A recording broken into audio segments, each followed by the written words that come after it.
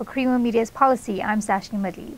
Joining me today is Congress of the People leader Mosiuoa Lekota, here to discuss his retirement and COPE's campaign heading into the 2024 elections. After heading up the party for two decades, what made you decide to retire and, you know, will you still play an active role in the party? Well, it's, it's a, I'm, I'm just following the prescripts of uh, our constitution, what you call the rule of law otherwise, because it prescribes that uh, one can only lead the party for two terms. Beyond that, uh, you have to vacate office and let the, the Congress elect somebody else. And uh, I have completed my two terms. And uh, it's, it's time that I respect the provisions of the Constitution. Um, and when will COPE's new leader be elected? And what do you think the party will look like, you know, without you heading it up? We will, uh, we will uh, call a, a Congress because um, that is a, the body that is empowered to elect uh, a subsequent leader. Uh, as soon as the elections are, are done and uh, our resources allow, we will immediately move into uh, a Congress, and the, the Congress will then, of course, take a decision who will uh, do what. But uh, I'm not I'm not uh, resigning from the party. I'm not leaving the the party as such. I will remain available for any functions that the party might want to uh, uh prescribe or give to to me. Uh, so, in a sense, I, am I'm, I'm I'm respecting the constitution, but it doesn't say you must re re resign from the organization and go. Most people, I think, think that they must go away so that they don't get instructions for their from their juniors. But I don't mind that. I'd, I'd, I'd, be happy to to continue to, to do the work of the party as, as, a, as a member. Now, the COPE manifesto lays out 46 things that need to be fixed in South Africa, and one of those is electricity. So, what is the party's plans in this regard? Well, the first uh, issue that we are concerned with is that there is a very huge, uh, let me say, body of men and women employed. We really need to reduce that. Government must become less so that we can devote bigger amounts of resources to the needs of the people. If we just feed the number of people that we employ a lot of people and then do that. There's very little available for the education, for the hospitals, for retired uh, citizens. And so, and so we do think that uh, it, is important that uh, apart from the tax that the citizens continue to pay, that we are able to redirect the available resources away from a few employed people and make sure that we can then expand uh, the, the, services that can be delivered to the citizens of the country. And this we are determined to do, especially because in the years of apartheid, if you look at the black sections of the population, and I, I, I say black sections because Africans, Indians, colored people, we now uh, have to recall that very many fields of education and training were closed to these sections of the population. The, the, this is the reason why so many of the people that were trained, who were mostly white people, as they left the country and they decided, no, they are not going to stay in, in this country, were ran short of uh, skills and in fact, there was such a rush to drive them out that know-how that was required was also driven out.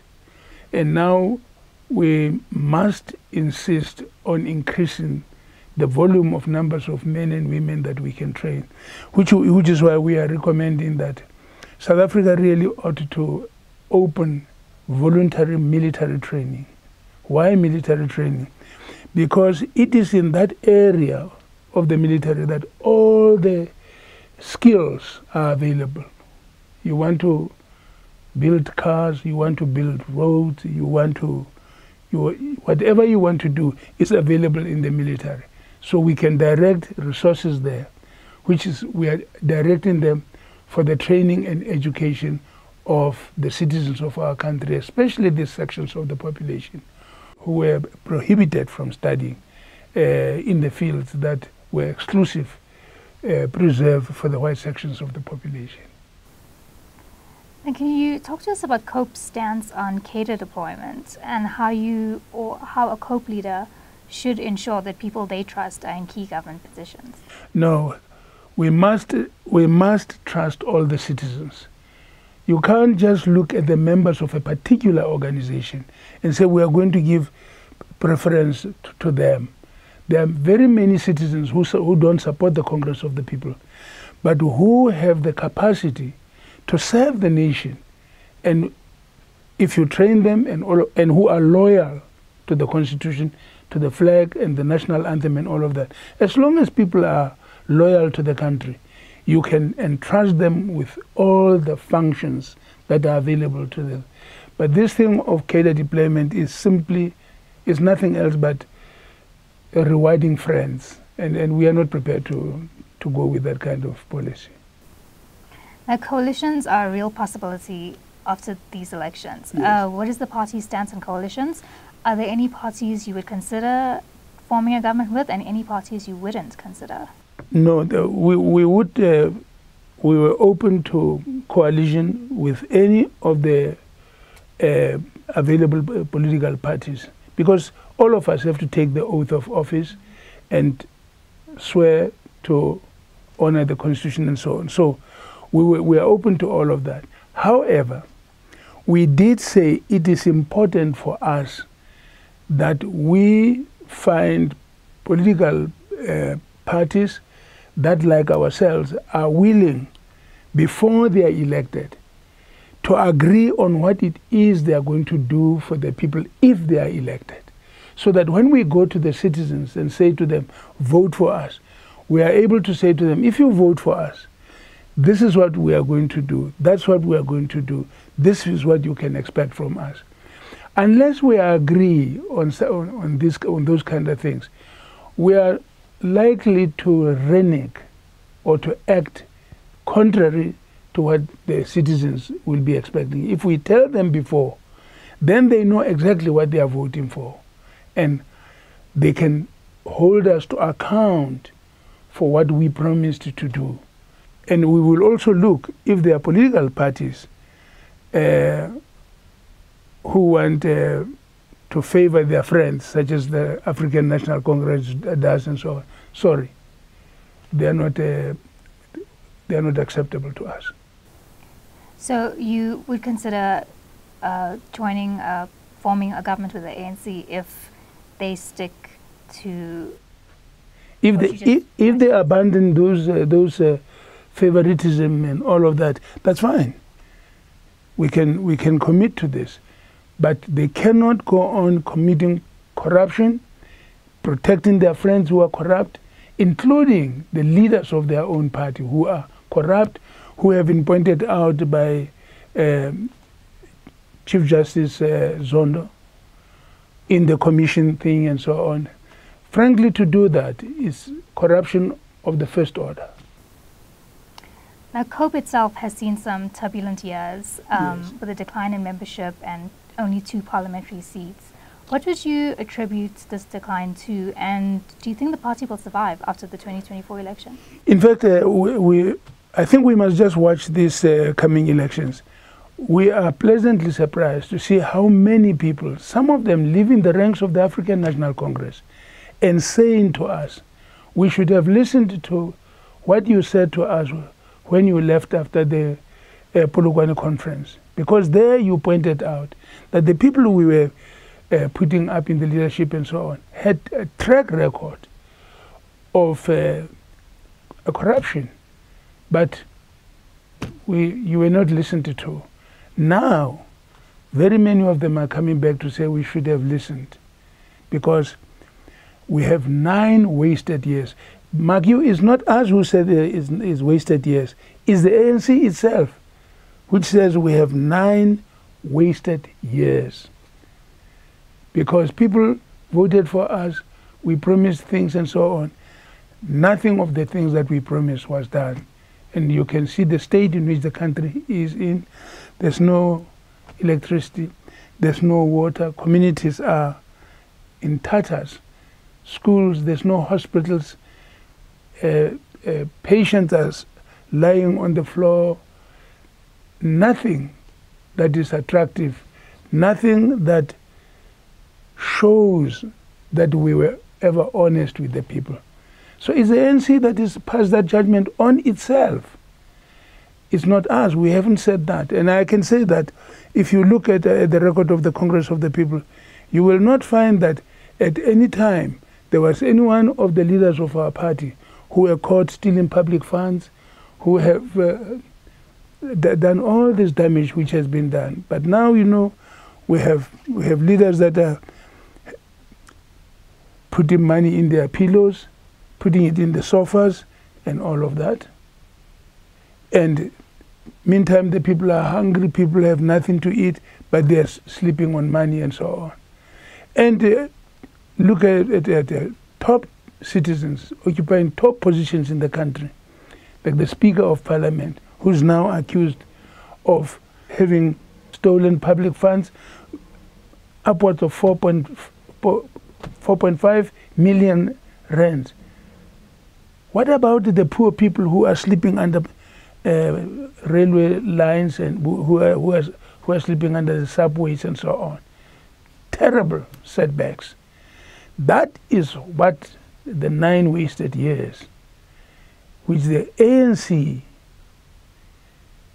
did and which they are proud to do, they are still sending back to Parliament. They are still keeping in the lists men and women who have been charged with this kind of crimes.